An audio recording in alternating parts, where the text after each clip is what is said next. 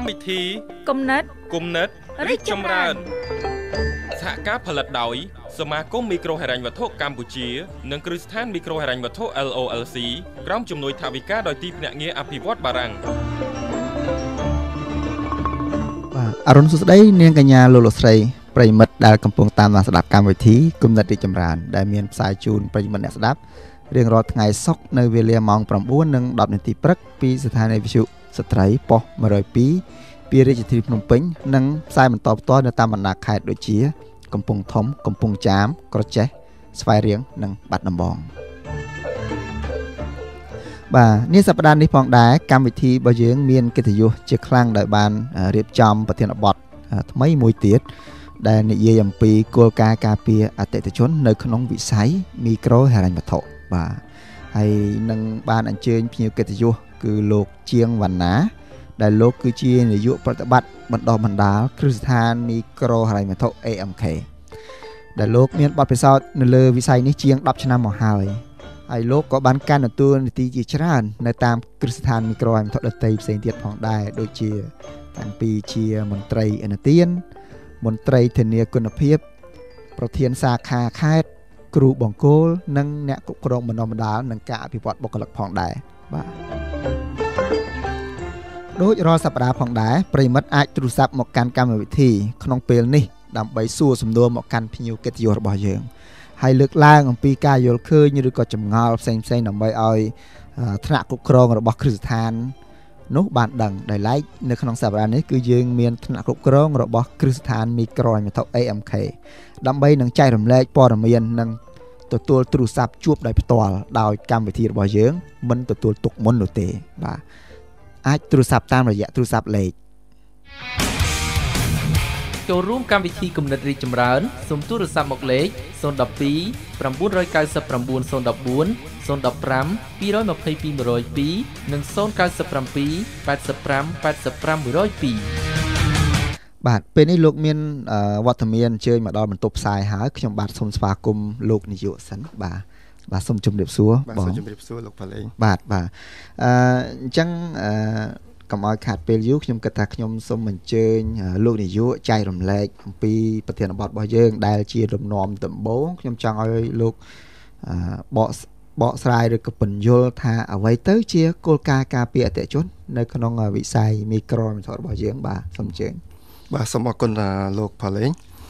បាទជាបឋមសូមគោរពប្រិយមិត្តរបស់វិទ្យុ102ទាំងអស់គ្នាជាទីគោរព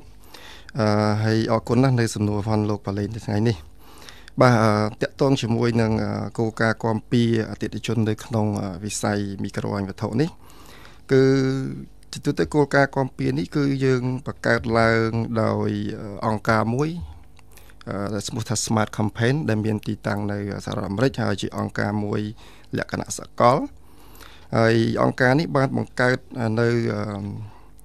គេហៅថាគោលការណ៍គាំពៀអតិថិជន ដែលយើងហៅភាសាអង់គ្លេសថា Client Protection Principle គោលការណ៍នេះកើតឡើងដើម្បីការពារអតិថិជនខ្លួនឯងសម្រាប់គ្រឹះស្ថានក្រមធននឹង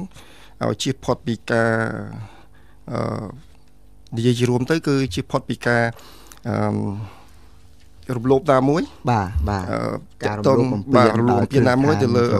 មកពីពីវិស័យហិរញ្ញវត្ថុហើយគោលការណ៍នេះគឺមាន7ចំណុចធំធំ ដែលគេបង្កើតឡើងអញ្ចឹងចំណុចទាំង7ធំធំហ្នឹងខ្ញុំនឹងលើកឡើងដែរគឺទី1គឺនិយាយអំពីថាតើគ្រឹះស្ថានហិរញ្ញវត្ថុទាំងអស់ហ្នឹងបានបង្កើតផលិតផលនិងការបម្រើសេវាកម្មខ្លួនឯងហ្នឹងសមស្រប ជាមួយនឹងអតិថិជនខ្លួនឯងដែរឬទេបាទហើយគោលការណ៍ទី2ហ្នឹងគឺនិយាយអំពីការការពារនៅបំណុលវ៉ាន់កតើគាត់មានយន្តការមានវិធីសាស្ត្របែបណាដើម្បីការពារអតិថិជនខ្លួនឯងហ្នឹងពីបំណុលវ៉ាន់កហើយគោលការណ៍ទី3ហ្នឹងគឺនិយាយអំពីតម្លាភាពទៅកាន់អតិថិជនខ្លួនឯងគោលការណ៍ទី4ហ្នឹងគឺនិយាយអំពីគេហៅថាការកំណត់ថ្លៃដោយមានការទទួលខុសត្រូវ របស់គ្រឹះស្ថានហិរញ្ញវត្ថុហ្នឹងបាទហើយគោលការណ៍ទី5ហ្នឹងនិយាយអំពីការគោរពនិងការផ្ដល់សិទ្ធិសេរីភាពស្មើគ្នាដល់អតិថិជនខ្លួនឯងបាទហើយគោលការណ៍ទី6ហ្នឹងគឺនិយាយអំពីសិទ្ធិឯកជនភាពរបស់អតិថិជនខ្លួនឯងបាទបាទហើយនឹងគោលការណ៍ចុងក្រោយរបស់គោលការណ៍នោះគឺនិយាយអំពីតើតើស្ថាប័នហ្នឹងគាត់មានយន្តការឬក៏វិធីសាស្ត្របែបណាដើម្បីអឺ ដោះស្រាយនៅភាពត្អូញត្អែឬក៏ការមិនសប្បាយចិត្តរបស់អតិថិជនខ្លួនឯងការតវ៉ាពីបាទបាទជាការតវ៉ាផងអតិថិជនហ្នឹងឯងបាទបាទអញ្ចឹងនេះគឺជាគោលការណ៍នៃការគាំពៀដែលបង្កើតឡើងដោយ Smart Campaign បាទបាទសូមអរគុណលោកនាយកអញ្ចឹងចេះខ្ញុំយើងបានដឹងហើយថាគោលការណ៍ហ្នឹងវាបង្កើតឡើងដោយខាងអ្នកដែលនៅខាងសហរដ្ឋអាមេរិកដែលជាគេហៅថា អ្នកវិនិយោគដែលគិតអំពីផលប្រយោជន៍នៃសង្គមហ្នឹងតម្រូវឲ្យខាងស្ថាប័នរបស់យើងអនុលោមទៅតាមគោលការណ៍ទាំងអស់ហ្នឹងដែលមានទាំងអស់មានចំនួន7ទៅលើគោលការណ៍ការពារអតិថិជនដែលឡែកខ្ញុំចង់ឲ្យលោកឧទាហរណ៍បញ្ជាក់ឲ្យច្បាស់បន្តិចថាទង្វើណាដែលគោលការណ៍ការពារអតិជនហ្នឹងបានតម្រូវឲ្យស្ថាប័នហ្នឹងឲ្យគាត់ប្រព្រឹត្តតាមលោកអាចលើកឧទាហរណ៍ជាក់ស្ដែង បានទេតកតងទៅនឹងចំណុចនេះបាទសូមអូខេបាទអរគុណលោកផលេងអឺនិយាយជារួមទៅគោលការណ៍ទាំង7នេះអឺស្ថាប័នដែលគាត់អនុវត្តហ្នឹងគាត់ត្រូវតែធ្វើយ៉ាងម៉េចឲ្យគោរពទៅតាមគោលការណ៍ទាំង7ហ្នឹងដែលគោលការណ៍ទាំង7ហ្នឹងវាមានបែងចែកទៅរហូតទៅដល់95សុចនក អញ្ចឹងតើតើយើង បានគ្រប់ទាំង95សុចនកបានយើងអាចទទួលបានការអនុវត្តពេញលេញទៅលើគោលការណ៍មួយនេះវិញ្ញាបនបត្របាទទទួលបានវិញ្ញាបនបត្រនៅលើគោលការណ៍ទាំងអស់នេះអញ្ចឹងខ្ញុំអាចលើកឧទាហរណ៍ថាឧទាហរណ៍តកតងជាមួយនឹងតម្លាភាពអញ្ចឹងតម្លាភាពនេះគឺគេចង់និយាយថាតើស្ថាប័នខ្លួនឯងហ្នឹងបានផ្ដល់តម្លាភាពទៅដល់អតិថិជនខ្លួនឯងទី1តកតងជាមួយនឹងតម្លៃ បាទតកតងជាមួយនឹងលក្ខខណ្ឌផ្សេងផ្សេងដែលក្នុងគ្រីស្ថានហ្នឹងមានសម្រាប់អតិថិជនខ្លួនឯងនៅពេលដែលផ្ដល់សេវាហិរញ្ញវត្ថុបាទសូមសូមកាត់លោកប្រសាសន៍លោកនាយកបន្តិចថាតើពាក្យថាតម្លាភាពហ្នឹងមានន័យថាម៉េចដែរលោកនាយកបាទតម្លាភាពនេះចង់បានន័យថាតើស្ថាប័នខ្លួនឯងហ្នឹងនៅពេលដែលផ្ដល់សេវាហិរញ្ញវត្ថុនោះ បានជម្រាបដល់អតិថិជនខ្លួនឯងនឹងយល់ច្បាស់អំពី លក្ខខណ្ឌនានានៃសេវាខ្លួនឯងអត់ខ្ញុំលើកឧទាហរណ៍ថាសេវាកម្មប្រាក់កម្ចីចាស់បាទចឹងនៅមុនពេលដែលយើងឲ្យអតិថិជនខ្លួនឯងសម្រេចចិត្តថាទទួលយកសេវាប្រាក់កម្ចីផនយើងហ្នឹងយើងបានបញ្យល់អតិថិជនយើងឲ្យបានយល់អំពីលក្ខខណ្ឌនានានៃសេវាប្រាក់កម្ចីយើងអត់ឧទាហរណ៍ថាគ្រប់លក្ខខណ្ឌបាទថាតើ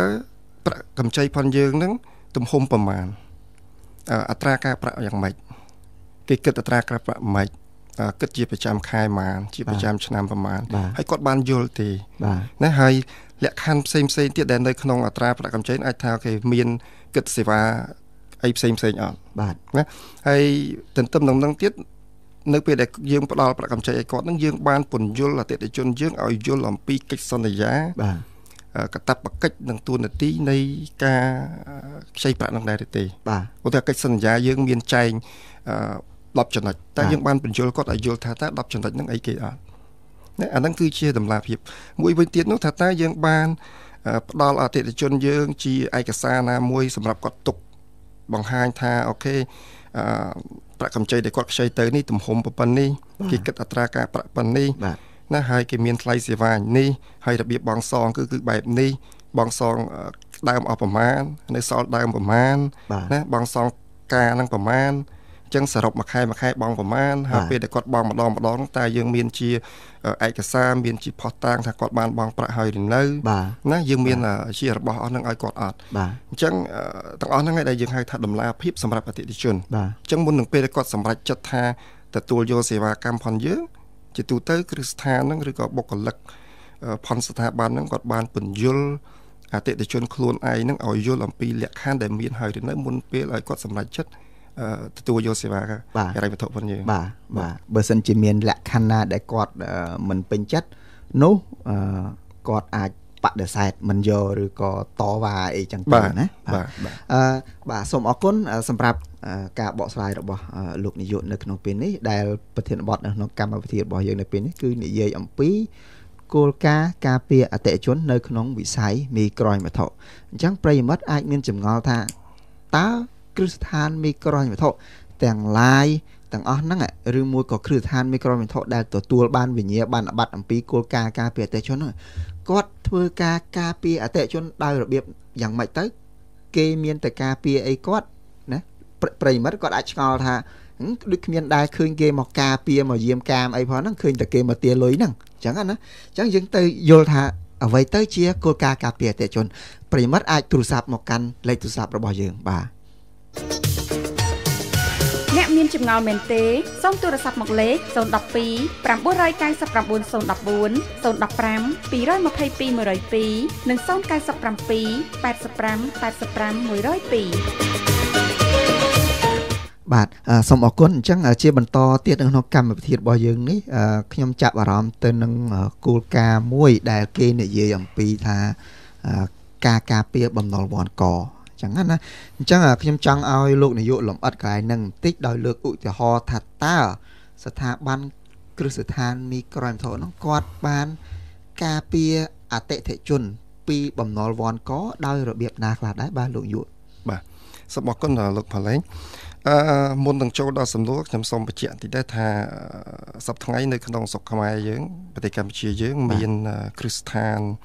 ធំធំតែ8ទេដែលទទួលបាន វិញ្ញាបនបត្របាទពាក់ព័ន្ធជាមួយនឹង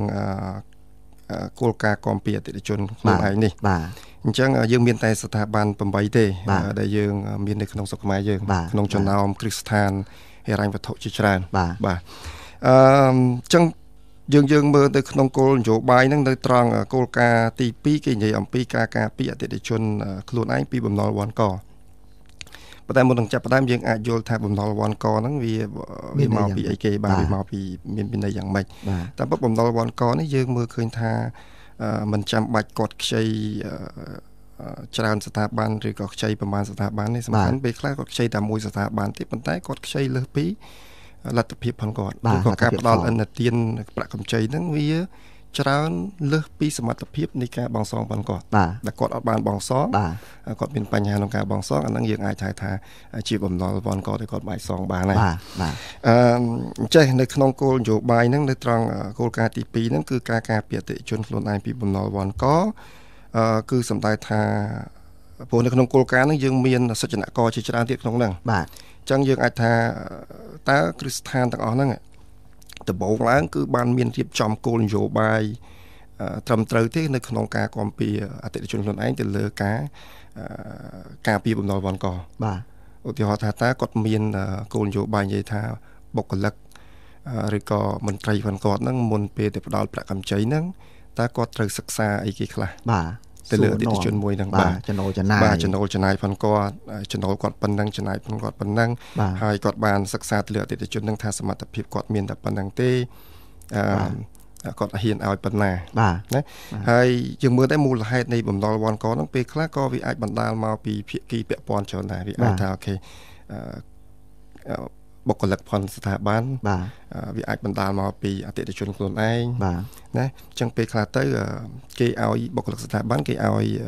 ត្រូវតាមលទ្ធភាពផនគាត់ហើយបាទប៉ុន្តែពេលខ្លះគាត់មានឃើញស្ថាប័នផ្សេងទៀតឬក៏កន្លែងណាផ្សេងទៀតអាចផ្ដល់ជាប្រាក់កម្ចីបានគាត់ទៅយកថែមទៀតតែដែលធ្វើឲ្យស្ថាប័នហ្នឹងក៏គាត់អត់ដឹងអញ្ចឹងគាត់អាចមាន2 3 4ស្ថាប័នអីតាមហ្នឹងទៀតតែដែលលើសពីលទ្ធភាពផងគាត់បាទបាទចាតិជនខ្លួនឯងក៏ត្រូវមើលឯហ្នឹងដែរ អឺសម្រាប់ស្ថាប័នគឺគេមានគោលនយោបាយច្បាស់លាស់បាទក្នុងការផ្ដល់អនុទានឲ្យអតិថិជនមួយតើតើយើងសិក្សាលើអីខ្លះបាទទី2បើសិនជាអតិថិជននឹងមិនមានលទ្ធភាពក្នុងការទទួលអនុទានដោយការស្នើសុំផងគាត់ទេស្ថាប័នគាត់អាចកាត់បន្ថយទំហំអន្តទានដែលស្នើសុំពីអតិថិជនហ្នឹងដើម្បីឲ្យសមជាមួយនឹងលទ្ធភាពដែលគាត់អាចសងបានបាទបាទឲ្យសមបាទហើយមួយវិញទៀតនោះគេមើលទៅ និយាយរួមទៅគេកណនាទៅលើលទ្ធភាពផនគាត់នឹងចំណូលប្រមាណចំណាយប្រមាណចំណាយទូទៅស្អីគេខ្លះចំណាយគ្រួសារស្អីគេខ្លះអឺទូទាត់ទៅគេឃើញថាលទ្ធភាពគាត់មានប៉ុន្មានអញ្ចឹងស្ថាប័នគេឲ្យឲ្យទៅតាមលទ្ធភាពទៅអតិថិជនទាំងទេគេមិនឲ្យលើសទេ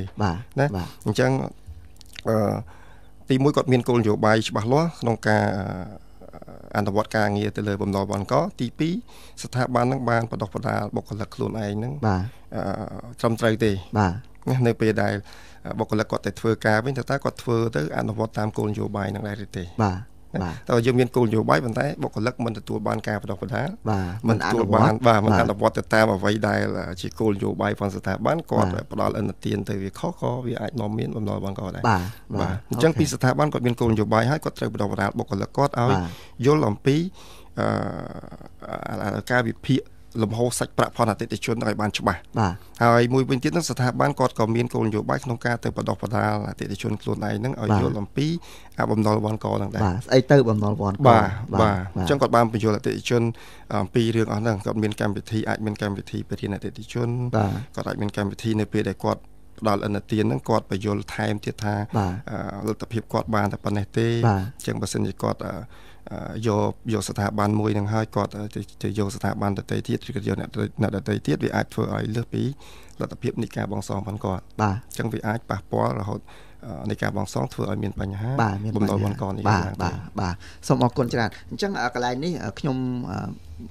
ខ្ញុំនឹកឃើញពីចំណុចមួយដែរនៅត្រង់ថា ដើម្បីការពារបំណុលវ៉ាន់កអ្វីដែលខាងស្ថាប័នគ្រឹះស្ថានមីក្រូមសគាត់បានធ្វើគឺដូចអ្វីដែលលោកនាយកបានមានប្រសាសន៍ហើយប៉ុន្តែគ្រាន់តែថាអានោះវាមកចំណែកនៃដៃខាងស្ដាំឬក៏ដៃខាងឆ្វេងប៉ុន្តែដើម្បីការពារបំណុលវ៉ាន់ក៏ឲ្យបានពេញលេញដៃមួយខាងទៀតដើម្បីឲ្យវាបានពេញលេញនោះគឺលុះថាតែអតិថិជនគាត់ផ្ទាល់ខ្លួនផងដែរគាត់ព្រោះមានតែគាត់ទេដែលដឹងថាខ្លួនឯងហ្នឹង ស្ថិតនៅទីណាដូច្នេះថាតើគាត់គួរតែទទួលប្រាក់កម្ចីបន្ថែមមកព្រោះជួនកាលគាត់យកដូចលោកនាយកមានប្រសាសន៍អញ្ចឹងថាគាត់យកពីអ្នកទី1ហើយដល់ទៅពេលគាត់នឹកឃើញថាគាត់ជួបបញ្ហាអឺហិរញ្ញវត្ថុទៅគាត់នឹកឃើញតែម្យ៉ាងទេទៅរកមួយទៀតអ្នកមួយទៀតហ្នឹងមកគាត់ជួនកាលគាត់មិនបានពិនិត្យបច្ច័យក៏វាធ្វើឲ្យអតិជនខ្លួនឯងចុងក្រោយអ្នកដែល មានបញ្ហាហ្នឹងគឺអតិថិជនអញ្ចឹងណាអញ្ចឹងបើថាយើងមានដៃ2នៅក្នុងការគ្រប់គ្រងទាំងអស់នេះបាទអញ្ចឹងសូមអរគុណអឺលោកនាយកដែលបានរៀបរាប់អំពីឧទាហរណ៍ជាក់លាក់ចំណុចលម្អិតនីមួយៗនៅក្នុងការដែលថាតាស្ថាប័នគ្រឹះស្ថានមីក្រូមេថុដែលគាត់បានជួយការពីអតិជនពីបំណុលវ៉ាន់កដោយរបៀបណាខ្លះចឹងហើយខ្ញុំលើកចំណុចមួយផងដែរតតភាពជាក់ស្ដែងនៅតាមភូមិហ្នឹងយើងឃើញថាពេលខ្លះ អតិជនគាត់ថាគាត់ដឹងតែយកស្អីលុយពីខាងស្ថាប័នហ្នឹងឯងសួរនោះសួរបាទសួរច្រើនដល់ហើយហើយប្រមូលឯកសារនឹងអីខ្លះទេណាបើទៅខ្ចីឯកជនឬក៏ខ្ចីខាងណាផ្សេងគាត់ងាយស្រួលជាងណាអញ្ចឹងអាហ្នឹងវាជាចំណុចមួយដែរដែលស្ថាប័នគេតម្រូវឲ្យមានឯកសារឬក៏គេសួរនាំព័ត៌មានហ្នឹងគឺក្នុងគោលបំណងដើម្បីការពារពួកគាត់ទេ ណាចឹងណាចឹងអានេះគឺជាអ្វីដែលដែលយើងចង់បញ្ជាក់ផងដែរបាទស្របនៅពេលនៅគ្នានេះប្រសិនបើប្រិមិត្តអ្នកស្ដាប់មានចម្ងល់មតិយោបល់អីត្រង់ណាតកតងទៅនឹងរឿង គោលការណ៍ការពារអតិជនឬមួយក៏ថាមិនតកតងទៅនឹងគោលការណ៍ការពារអតិជនឯអ្វីដែលប្រិមិត្តបានឃើញនៅក្នុងភូមិឃុំដែលជាបញ្ហាកើតមានហើយទៅចង់ឲ្យថ្នាក់គ្រប់គ្រងរបស់ខាងស្ថាប័នគ្រឹះស្ថានមីក្រូមេថុ AMK គាត់បានលឺអញ្ចឹងអាចទូរស័ព្ទមកកាន់កម្មវិធីតាមរយៈលេខទូរស័ព្ទបាទចូលរួមកម្មវិធីគំនិតរីកចម្រើនសូមទូរស័ព្ទមកលេខ012 999 014 015 222 102និង097 85 85 102បាទជាបន្តទៀតខ្ញុំចាប់អារម្មណ៍ទៅលើចំណុចមួយដែលលោកគាត់បាននិយាយខាងដើមថានៅក្នុងប្រទេសកម្ពុជារបស់យើងនេះមានស្ថាប័នចំនួនតែ8ទេដែលទទួលបានវិញ្ញាបនបត្រគោលការណ៍ការពារអតិជនហ្នឹងអញ្ចឹងខ្ញុំចង់ដឹងថាតើអឺ អ្នកណាជាអ្នកប្រគល់នៅវិញ្ញាបនបត្រនោះហើយទៅហេតុអីបានមានតែស្ថាប័នចំនួន8មិនមានទាំងអស់ទាំង50 60ស្ថាប័នអឺឬក៏70ស្ថាប័នមីក្រូអែមដែលកំពុងប្រតិបត្តិការនៅក្នុងប្រទេសកម្ពុជាយើងទទួលបានទៅបែរជាមានតែត្រឹម8ហ្នឹងបាទលោកសំជែងអឺ នេះខ្ញុំជម្រាបពីដំបូងហ្នឹងគឺយើងមាន8នៅក្នុងស្រុកខ្មែរយើងសប្តាហ៍ថ្ងៃហើយយើងមើលឃើញថាមានស្ថាប័នជាង10ទៀតក៏គាត់កំពុងតែដាក់ពាក្យបាទគេហៅថា apply endorsement ណាភាសាអង់គ្លេស endorsement សម្រាប់គោលការណ៍គោលការណ៍គាំពៀអតិថិជននេះផងដែរចូលរួមចង់បានចូលរួមចង់បានហ្នឹងដែរហើយ ក៏មានការផ្សព្វផ្សាយនិងមានការលើកទឹកចិត្តឲ្យស្ថាប័នដទៃទៀតដែរដែលគាត់មិនទាន់បានយល់ច្បាស់អំពីគោលការណ៍គាំពៀអតិថិជននេះគាត់ apply យកវិញ្ញាបនបត្រនេះទៅព្រោះយើងដឹងហើយថាអតិថិជនសំខាន់សម្រាប់ស្ថាប័នមួយមួយបើសិនជាយើងមិនមានអតិថិជនទេឬក៏អតិថិជនយើងរកស៊ីទៅគាត់មានបញ្ហាហើយយើងបានការពារគាត់ទេអាហ្នឹងវាធ្វើឲ្យថ្ងៃក្រោយទៅយើងបាត់បង់អតិថិជនដែរអញ្ចឹង វាក៏អាចនឹងប៉ះពាល់ដល់ការប្រកបរបរឬក៏ការរកស៊ីផនស្ថាប័នហ្នឹងដែរអញ្ចឹងអតិថិជនគឺសំខាន់ហើយអឺអាចថាស្ថាប័នជាច្រើនគាត់បានដឹងហើយស្ថាប័នមួយចំនួនទៀតក៏គាត់មិនទាន់បានដឹងអំពីគោលការណ៍ទាំងអស់នេះដែរបាទបាទអញ្ចឹងអឺឱកាសនេះគឺជាឱកាសដែលយើងអាចជម្រាបពួកគាត់ដែរថាគោលការណ៍ទាំងអស់នេះគឺវាសំខាន់ក្នុងការការពារអតិជនខ្លួនឯងបាទបាទអឺដើម្បីទទួលបាន certificate នេះ គឺនិយាយជារួមគឺស្ថាប័នទាំងអស់ដែលទទួលបាននឹងគាត់បានបំពេញនិងអនុវត្តបានយ៉ាងពេញលេញនៅលើគោលការណ៍ទាំង7ហើយបាទហើយក្នុងគោលការណ៍ទាំង7ហ្នឹងវាមានសុចនក95សុចនកទៀតនៅក្នុងហ្នឹងបាទដែល95បាទដែលអង្គដែលស្ថាប័ននីមួយៗត្រូវតែគ្រប់ឬក៏អនុវត្តទៅតាមនោះបាទ អញ្ចឹងដើម្បីអនុវត្តទៅតាមនឹងបានល្អទី1គាត់ត្រូវត្រឡប់មើលទៅលើសច្ចនកទាំង95នឹងមកតើតើក្នុងសច្ចនកមួយមួយនឹងមានអីគេខ្លះបាទអញ្ចឹងនៅពេលសច្ចនកមួយមួយគាត់មើលអស់ហើយគាត់ត្រឡប់មកមើលគោលនយោបាយនីតិវិធីនឹងដំណើរការបាទការប្រតិបត្តិផនគាត់នៅក្នុងស្ថាប័នវិញថាតើនៅចំណុចមួយណាដែលគាត់ខ្វះខាតបាទអញ្ចឹងនៅពេលដែលគាត់មើលឃើញថាចំណុចខ្វះខាតគាត់អាចធ្វើការពង្រឹង ទៅលើចំណុចទាំងអស់ហ្នឹងបាទអឺបើសិនជាគាត់មិនអាចមើលឃើញទេពេលខ្លះគាត់អាចរអ្នកគេហៅថាជំនួយខាងក្រៅដើម្បីឲ្យជួយធ្វើការដល់ប្រឹក្សាបាទដល់ប្រឹក្សាឬក៏គេហៅថាធ្វើការវាតម្លៃជំហានដំបូងណាថាតើខ្លួនឯងស្ថាប័នហ្នឹងនៅនៅចំណុចមួយណាហើយអញ្ចឹងចំណុចណាខ្លះដែលត្រូវពង្រឹងទៅលើគោលការណ៍ទាំងអស់នោះបាទអញ្ចឹងនៅពេលដែលយើងមើលឃើញចំណុចដែលយើងត្រូវកែប្រែយើងចាប់ផ្ដើមកែប្រែទៅបាទបាទអញ្ចឹង ការកែប្រែគោលនយោបាយខ្លួនឯងនេះគឺវាល្អនៅពេលខ្លះយើងបានអត់បានមើលឃើញថាជាចំណុចខ្វះខាតទេបាទប៉ុន្តែនៅក្នុងគោលការណ៍ការពារអតិជននេះយើងមើលឃើញថាវាជាចំណុចខ្វះខាតដែលយើងមិនអាចទៅការពារអតិជនយើងបានបាទណាឧទាហរណ៍ដូចបំណុលវ៉ាន់កអញ្ចឹង នៅពេលខ្លះយើងមានគោលនយោបាយហើយប៉ុន្តែយើងទៅមើលប្រតិបត្តិការដែលជាមន្ត្រីពេលខ្លះក៏អត់អត់អនុវត្តទៅតាមគោលនយោបាយយើងឬក៏ថាពេលខ្លះគោលនយោបាយយើងវាខ្វះមួយចំណុចពីរចំណុចបាទដូចជាគោលនយោបាយយើងអត់បានចែងទៅលើការសិក្សាសមត្ថភាពប្រតិជនឲ្យបានពេញលេញណាគាត់សិក្សាបានតែចំណុចខ្លះឯងណាអញ្ចឹងគោលការណ៍ទាំងអស់ហ្នឹងអាចជួយគាត់បាទអញ្ចឹងនៅពេលដែលគាត់អនុវត្តទៅលើគោលការណ៍ហ្នឹងទៅគាត់អាច ទី1ធ្វើឲ្យប្រសើរឡើងនៅក្នុងគោលនយោបាយនិងនីតិវិធីរបស់គាត់បាទបាទទី2គាត់អាចទទួលបានអ្វីដែលថ្មីថ្មីបាទពីគោលការណ៍ហ្នឹងដែរបាទបាទអូខេបាទអញ្ចឹងយើងឃើញថាទម្រាំនឹងបានវិញ្ញាបនបត្រនឹងត្រូវឆ្លងកាត់ដំណាក់កាលច្រើនអាចស៊ីពេលច្រើនការអនុវត្តហើយក៏ដូចជា ថាវាមានភាពស្មុគស្មាញដល់ទៅ95សូចនាករឯណោះអញ្ចឹងមានថាគ្រឹះស្ថានមីក្រូអញ្ឆតទាំងអស់ហ្នឹងគាត់ហាក់ដូចជាគាត់ហ្នឹងទៅប្រឡងដើម្បីយកវិញ្ញាបនបត្រហ្នឹងមកអញ្ចឹងបាទអញ្ចឹងតកតងទៅនឹងវិញ្ញាបនបត្រហ្នឹងអញ្ចឹងតើយើងឧទាហរណ៍ថាឥឡូវស្ថាប័នគ្រឹះស្ថានមេក្រុមសូចំនួន8ដែលនៅក្នុង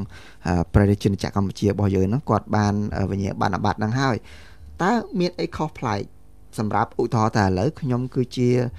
អតិថិជនអ្នកទទួលយកប្រាក់កម្ចីរបស់ស្ថាប័នហើយអញ្ចឹងតើខ្ញុំធ្វើម៉េចបានដឹងថាស្ថាប័នហ្នឹងទទួលបានវិញ្ញាបនបត្រហើយស្ថាប័ននោះមិនទទួលបានវិញ្ញាបត្រខ្ញុំមានអីជាសម្គាល់ដែលអាចទៅមើលបានទេបាទអឺជាទូទៅពេលដែលយើងទទួលបានវិញ្ញាបនបត្រ ខាង Smart Campaign ដែលជា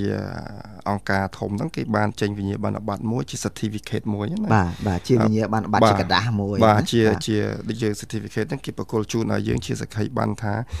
យើងបានអនុវត្តពេញលេញទៅលើគោលនយោបាយអស់ហ្នឹងបាទអញ្ចឹងស្ថាប័នដែលទទួលបានហ្នឹងគាត់អាចយកអាហ្នឹងទៅដាក់លើ website ផងគាត់តែយើងអាចចូល website ផងស្ថាប័នទៅក៏យើងអាចមើលឃើញថា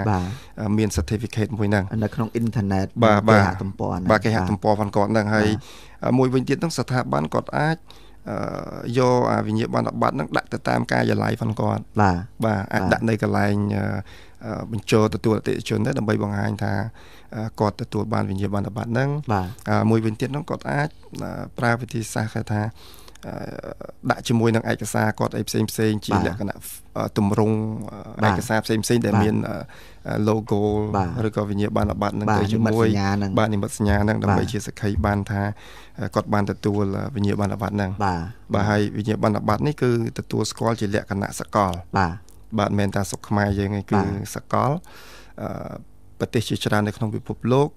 ក៏មានស្ថាប័នជាច្រើនដែរដែលគាត់ទទួលបានវិញ្ញាបនបត្រនេះអញ្ចឹងនៅពេលដែលគេ មើលឃើញថាស្ថាប័នយើងមាន certificate ហ្នឹងគេដឹងថាស្ថាប័នយើងគឺជាស្ថាប័នដែល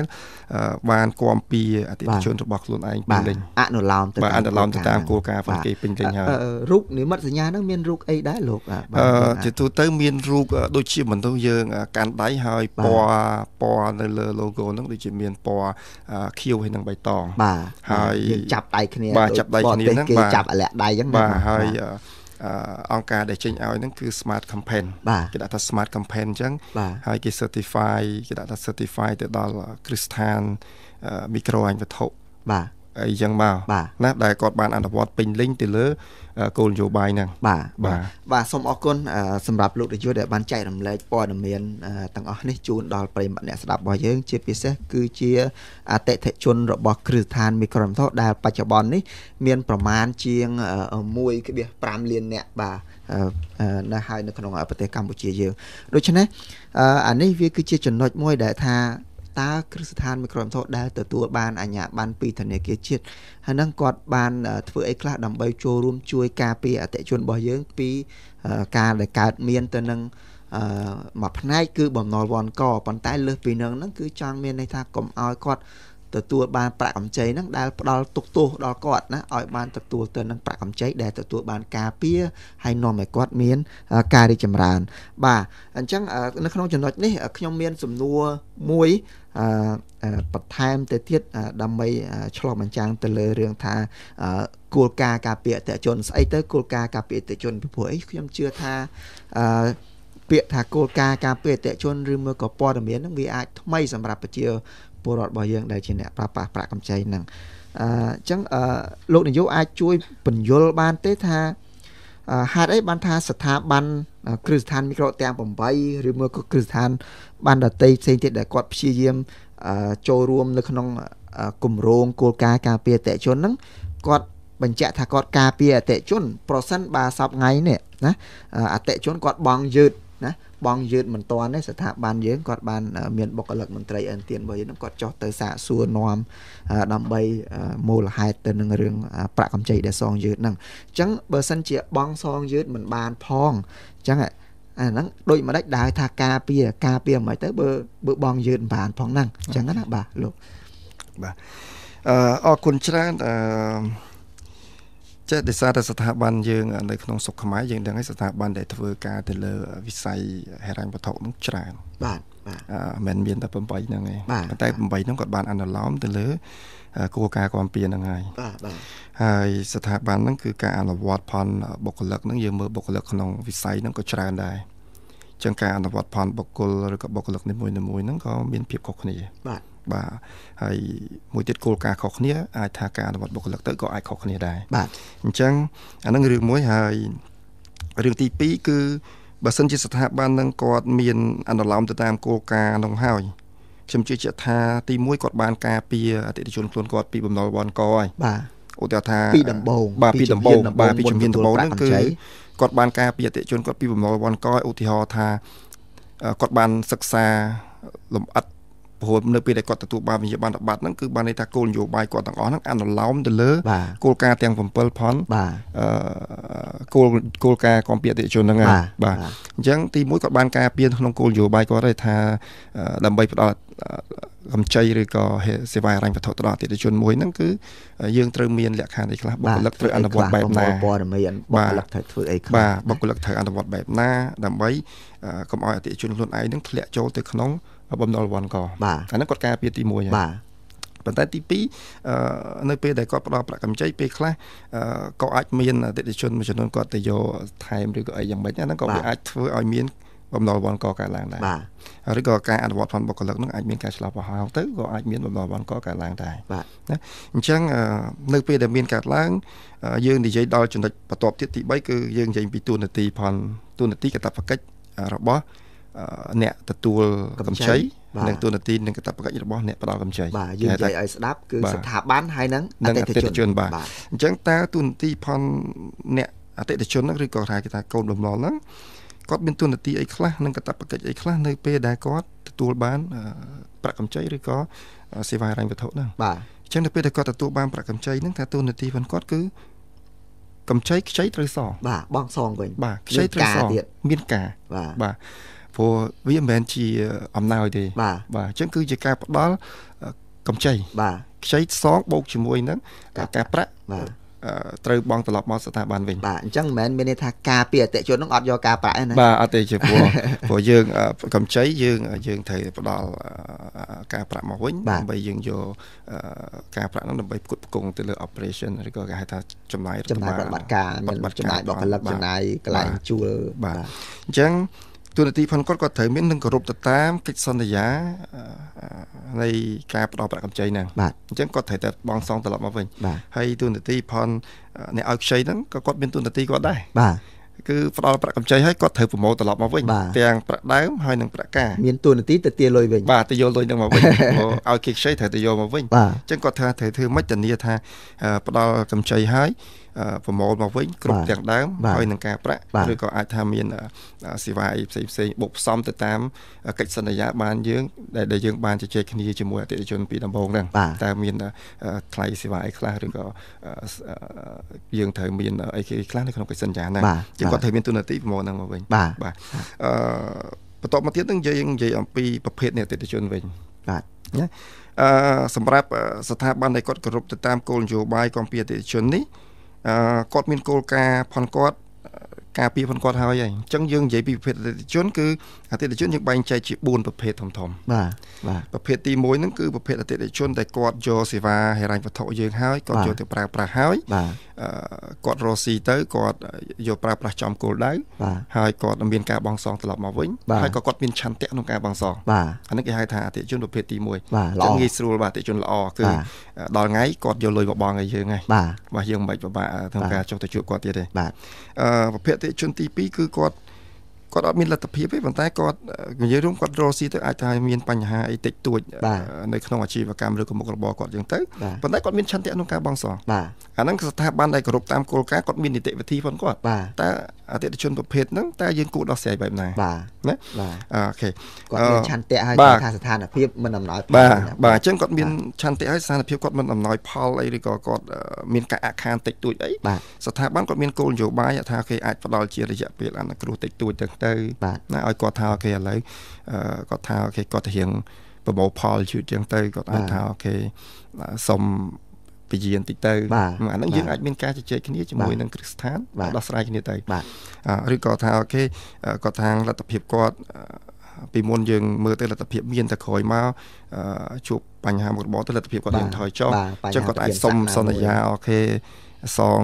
បន្ថយតិចជាងមុនអញ្ចឹងស្ថាប័នដែលគាត់អនុលោមតាមគោលការណ៍គំពីអតិជននោះគាត់មានគោលនយោបាយគាត់និយាយអំពីយើងហៅថា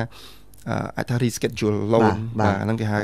ការកែប្រែរាយការណ៍រៀបចំសារឡើងវិញរៀបចំការប្រាក់កម្ចីដែលត្រូវរៀបចំឡើងវិញចឹងទៅបាទអឺយើងមើលអតិជនប្រភេទទី3ហ្នឹងគឺ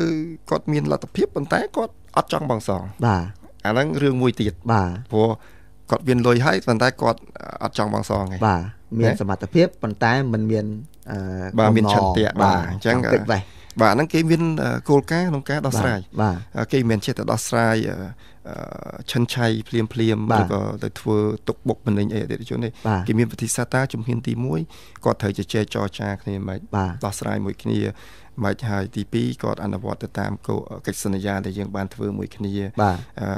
មានប្រមាណចំណុចក្នុងកិច្ចសន្យាហ្នឹងយើងនិយាយគ្នាទៅបាទហើយបន្ទាប់មកគេមាននីតិវិធីផងគេភ្លាមភ្លាមបាទបន្តទៀតទៅហើយយើងមើលអតិថិជនបន្តមកទៀតនោះគឺ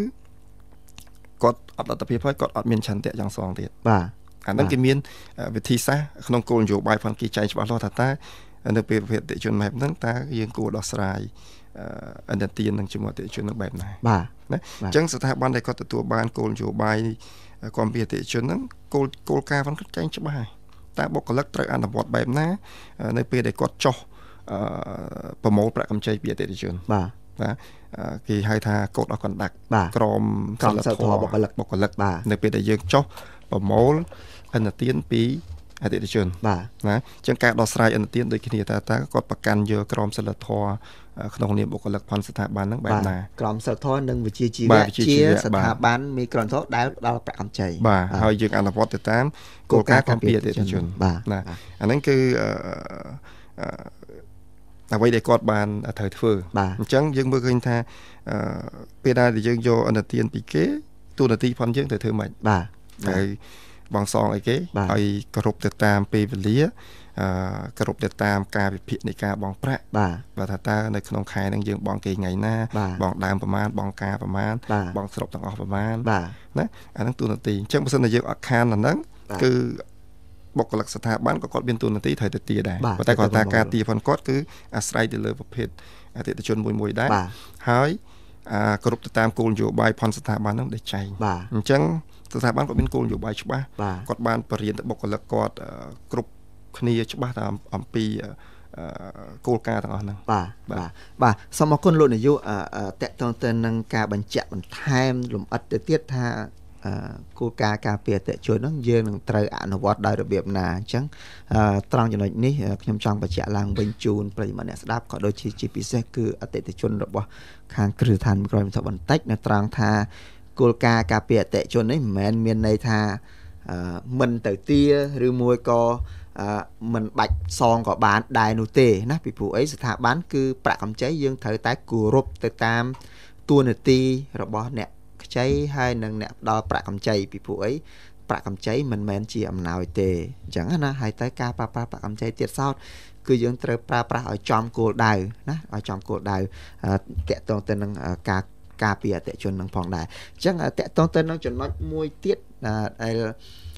ឥឡូវមុននឹងចូលដល់សំណួរបន្ទាប់ទៀតខ្ញុំចង់បើកឱកាសជូនទៅដល់ប្រិមិត្ត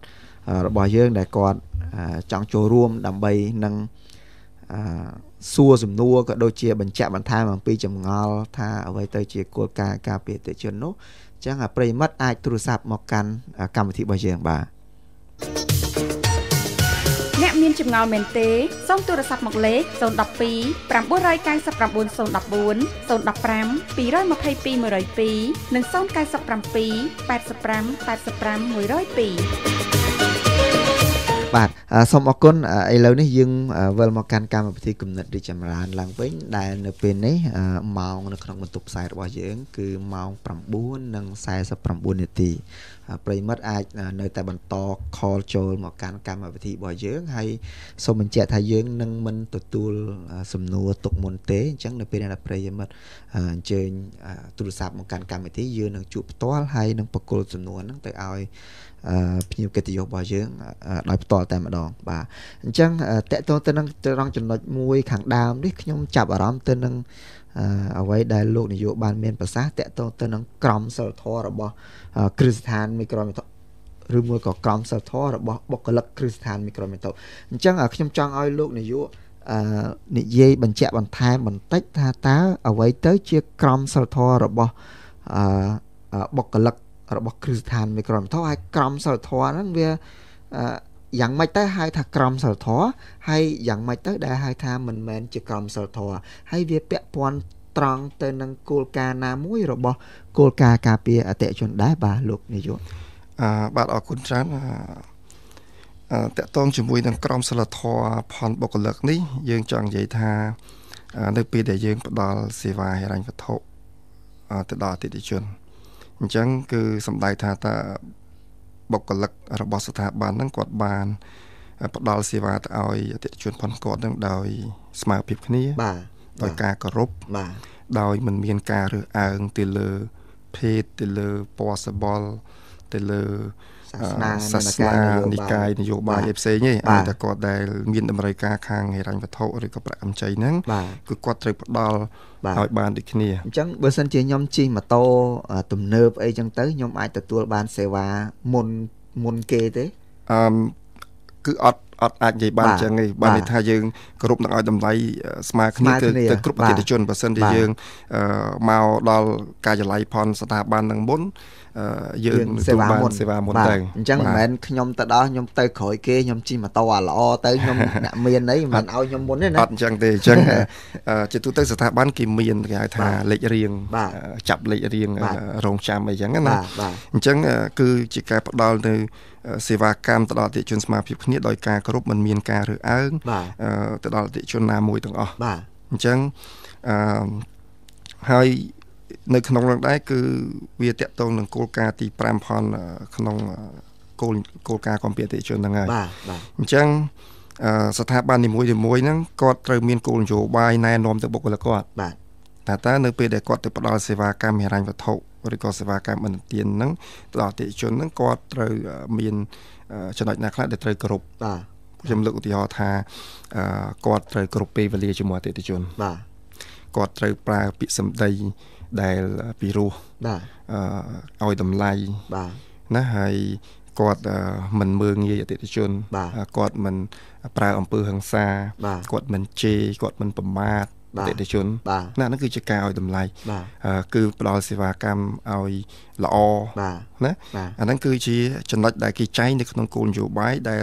បុគ្គលិក ត្រូវអនុវត្តទៅតាមគោលនយោបាយទាំងអស់ហ្នឹងនៅពេលដែលគាត់ទៅបម្រើសេវាកម្មជាមួយអតិថិជន ទាំងនៅការិយាល័យទាំងនៅតាមតំបន់ប្រតិបត្តិការតាមទីជនបទទាំងគ្រប់សេវាទាំងអស់បាទគ្រប់សេវាបាទសេវាអនុទាននៅពេលដែលយើងទៅដោះស្រាយអនុទានជាមួយអតិថិជនបុគ្គលិកក៏ត្រូវតែគោរពទៅទៅតាមក្រមសីលធម៌ហ្នឹងដែរតែយើងគួរតែប្រើភាសាយ៉ាងម៉េចគឺយើងហាមអីខ្លះណាអូខេយើងឧទាហរណ៍ថា អតិថិជនគាត់កំពុងតែមានទុក្ខតរៈជាទងន់ហៅថាអូខេកំពុងតែមានពិធីបន់អីកើតឡើងឬក៏ក្រុមគ្រួសារមានបញ្ហាហ្នឹងអញ្ចឹងក៏យើងពេលខ្លះយើងហាមយើងមានគោលនយោបាយមិនឲ្យបុគ្គលិកហ្នឹងគាត់ទៅដោះស្រាយទីបំណុលភ្លាមៗទេយើងឲ្យគាត់ចាំរហូតទៅដល់ ចប់កម្មវិធីណាបានយើងជជែកដោះស្រាយគ្នាយើងអត់ទៅក្នុងកម្មវិធីគាត់ទេទោះបីវាចំថ្ងៃប្រមូលប្រាក់ក្តីណាអាហ្នឹងគឺជាក្រមសធក្រមសិលធម៌ហើយណាហើយនៅពេលដែលយើងទៅដោះស្រាយក៏យើងដែរហាមដែរគឺមិនត្រូវប្រមាថមិនត្រូវមើងងាយមិនត្រូវជេរមិនត្រូវអីឬក៏ឆ្លោះទាស់តែងអីជាមួយអតិថិជនទេតែយើងយើងឲ្យដោះស្រាយតាមសតិវិធីហើយនៅពេលដែលយើងមាន